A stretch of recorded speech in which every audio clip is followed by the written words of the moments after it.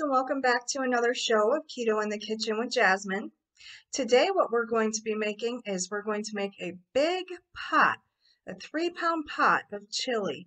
And this is for tonight's cook-off and what I'm going to do with this is I'm going to be filming tonight's festival which is a chili cook-off in our small town. So welcome to the show.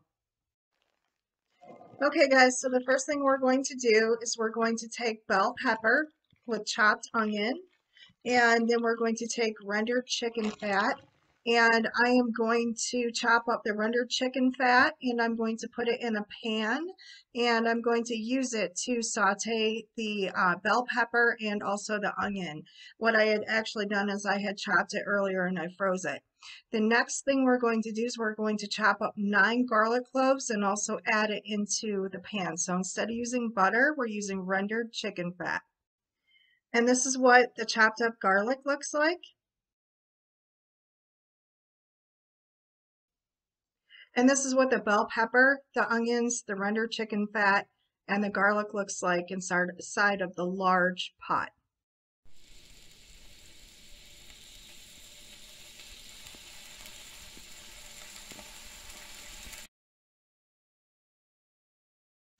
And now what I'm going to do is I'm going to season the bell pepper, onion, garlic, and rendered chicken fat with salt and pepper.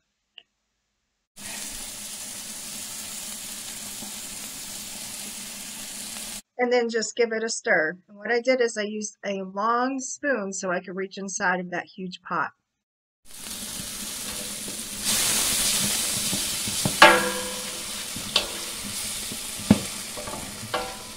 And what you're going to do is you're just going to cook the bell pepper, onion, and garlic until it's until the onions are translucent and the green bell pepper is uh, tender. The next thing I'm going to do is I'm going to sprinkle liberally onion and garlic powder into the pot.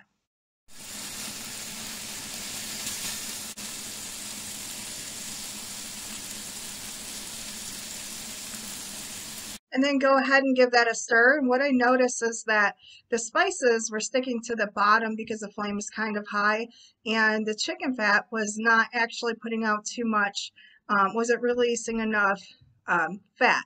So it wasn't releasing enough oil. So what I had to do is I added some uh, vegetable broth to the bottom of the pan and I stirred it to loosen it.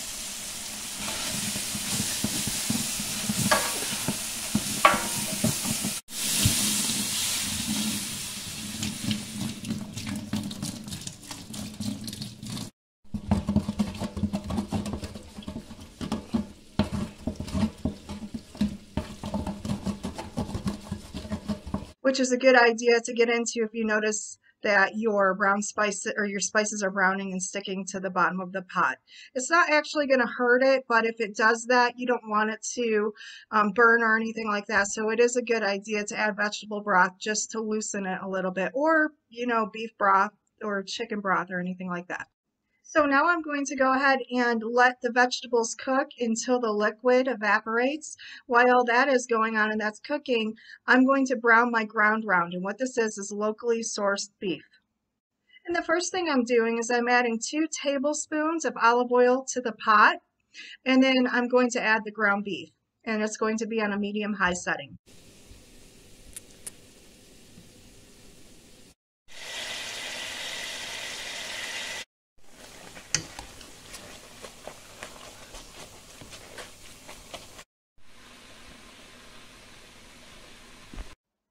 Now what I'm going to do is I'm going to add the seasoning to the ground beef and to do that I'm adding to start it's two quarters of a teaspoon full of allspice. The next ingredient we're adding is one teaspoon each of salt and pepper.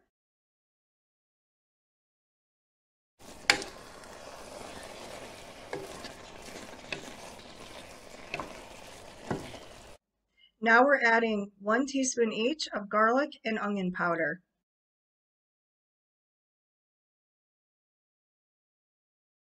Now add one teaspoon of chicken or vegetable bouillon. It's actually your choice, whatever you want to use. Now add one teaspoon of oregano Now add one teaspoon of thyme. So I did want to mention that this recipe is for a large party. The recipe I'm posting and the directions down below though are going to be for just a small pot for you and your family or whoever you want to cook for. Now what we're going to add is one tablespoon of Worcestershire sauce. And then of course just give it a stir.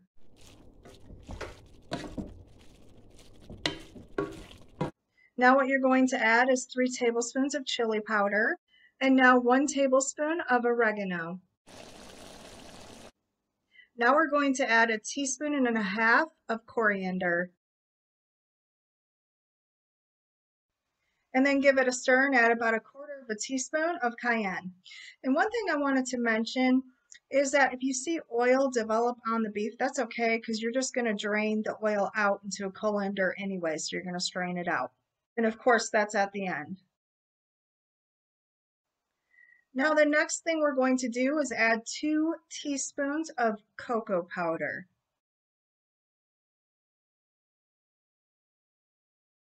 And then give it a stir. And what we're going to do now is chop up one whole pickled jalapeno.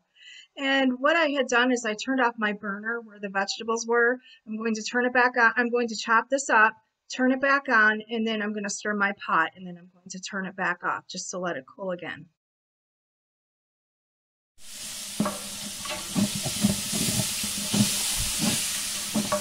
Okay, so now my ground beef is browned. What I'm going to do is I'm just going to dump it in here in the strainer, and I'm going to strain it over the sink. And you can use whatever method you feel is best, but if you don't want a lot of grease in it, you can do it that way, or you can take a plate, put down paper towels, whatever you feel is best.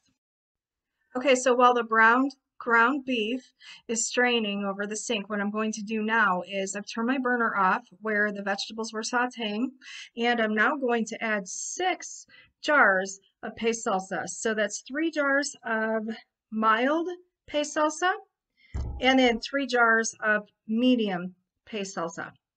And that's going to be with the sauteed vegetables.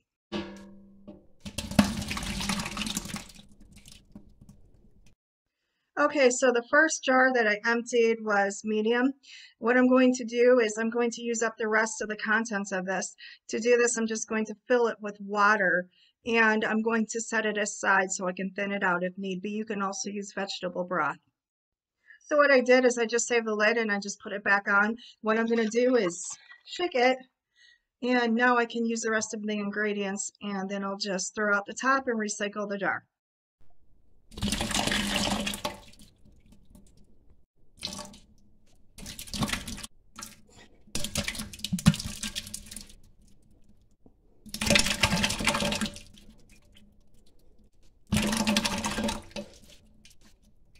Okay, so I opened up all of my cans of salsa, my jars of salsa. Now what I'm going to do is open up three cans of six ounces of tomato paste.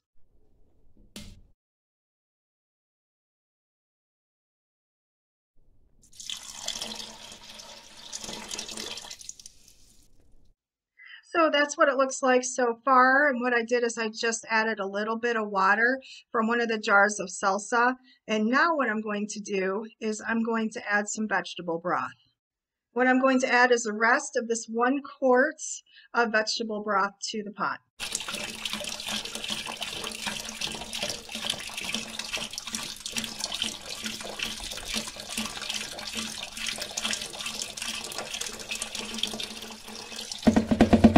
I just wanted to mention that at this time my burner is not on. Now what I'm going to add is one teaspoon of liquid smoke.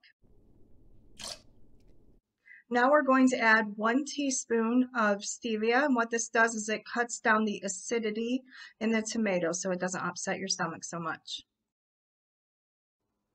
What I did last night is all day long is I made beans. I made pinto beans and I made black beans. And what you can do is you can take a crock pot on high, add about two cups of beans to water and a teaspoonful of salt and let it cook all day long. And then what I, what you can do is reserve the bean broth for other soups and other recipes.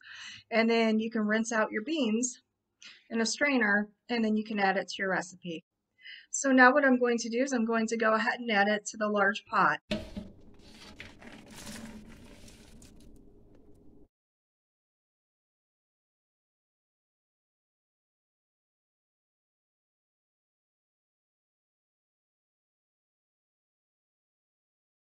The next thing I'm going to do is add two 28 ounce cans of diced tomatoes to the pot.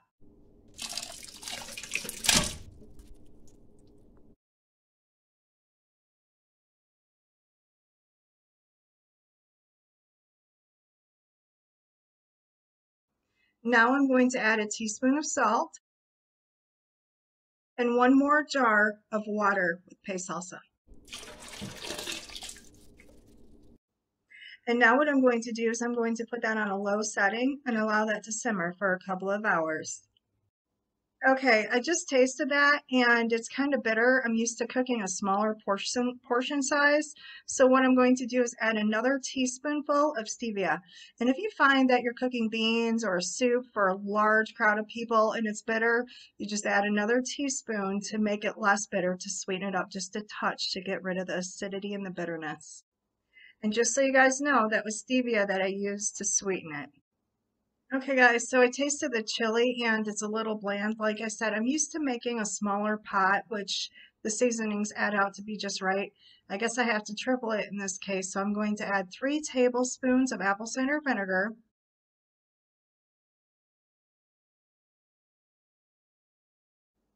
One half teaspoon of red pepper flakes.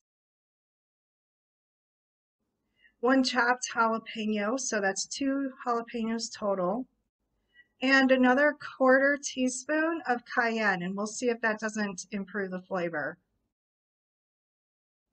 So two things I wanted to mention is that pepper actually makes a dish more spicy. So if you add it to jambalaya or creole or anything like that, it's going to give it more of a spicy flavor when combined with salt, garlic powder, and onion powder. And the second thing is that while it seems counterproductive to add apple cider vinegar to a dish like a tomato dish, it might you might think that it's more acidic and so it's going to cause acid in your stomach. It actually really doesn't. It reduces the acidity in your stomach. So like if you have heartburn, a lot of doctors might tell you that it's good just to mix some apple cider vinegar in a cup of water and drink it to get rid of the acidity in your stomach. Okay, so what we're basically doing is we're doing drops to our chili. So the next ingredient I'm going to add is two teaspoons of cumin. And so what cumin does is it gives your chili a nice smoky flavor. Now what we're going to add is one teaspoon of smoked paprika. And then what I added was one tablespoon each of garlic and onion powder,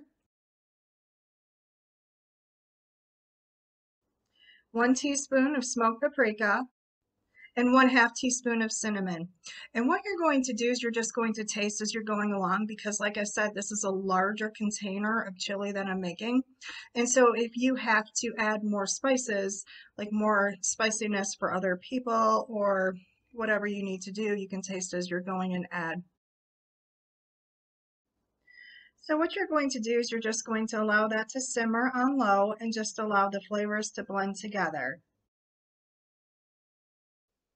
Okay, so I added three more tablespoons of apple cider vinegar, another half teaspoonful of red pepper flakes, and cayenne pepper. Like I said, it's a big pot and you just kind of have to taste as you're going. In addition, I'm going to add another jar of medium salsa to it, and it is Pace, and another chopped jalapeno. So that'll be three jalapenos. So what I just did is I added the locally sourced ground beef to it. Now I'm going to add another jar of Pace salsa and some more of the water to it to thin it out a little bit. Okay, so as you can see from the video there, the chili is now done and I'm going to try it. I did reserve some vegetarian chili for myself before I put the ground beef in it. So I'm going to see what this tastes like. Mm. Mm-hmm.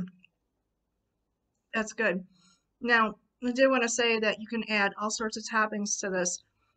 Jalapeno peppers, cheese, sour cream, corn, cilantro, green onion, hot sauce, whatever you want to add. For me, I did sour cream, I did uh, cheddar cheese, jalapenos, and Spanish olives and hot sauce. And it's really good. Have a good day, guys. Thank you for stopping by. I hope you enjoyed this. The recipe's posted below. Hi guys, happy holidays. Um, what we're doing today is we're getting ready to go downtown in my small town and we're doing a chili cook-off. I'm one of the participants. So I will be competing with other cooks or chefs in the area in a chili cook-off and I'm going to go ahead and I'm going to film this. This is going to be a continuation of my chili recipe. I hope you guys enjoy tonight's events. I'm just taking oh, a quick okay. panoramic. working on cars all day is what I do. So guys, this is what we're doing. We're at the chili cook-off and this is just a quick video to show you what's going on. We have a lot of participants here in this contest. It's very exciting tonight. Very exciting. We've got a lot going on.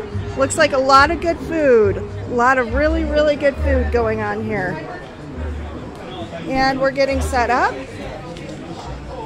There we go. That's mine right there, guys. So guys, we have the judges going around right now asking for um, the name of our chili. Mine is Jasmine's chili. So here we are guys and we are going to just get the band and we're all ready to serve. So there we go. Here on the left side we have Dick Rogers with a smoked red chili. And then we have number two position, we have Aaron Shockley of Rolling, of Rolling Fork, which happens to be the dessert truck. He's got a hillbilly chili. And then over here position number four, we got uh, Darren Mahoney uh, with a pork green chili. And then we've got uh, Girls Black Dog Saloon with a brisket chili. And position number six, and position number seven, we have the Hot Dog Pizza and Mountain Whiskey Bakery. Mountain Whiskey Bakery. And we have an andouille sausage, uh, chili. And then over here in position number nine, we have Jasmine O'Connor with the uh, red beef chili. And then we have a dual position here in position number 10 and 11. We have Colorado Drinkers Coffee Shop with the red and green chili probably ended up with a little bit of caffeine, so uh, have some fun with that one.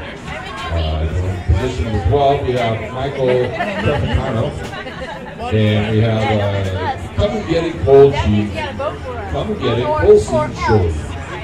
And uh, with DJ, Om, DJ Olmstead in position number 13. So come on over. All right, guys, look at the size of this crowd. Isn't that amazing? My chili sold out really, really, really fast, guys. Really fast.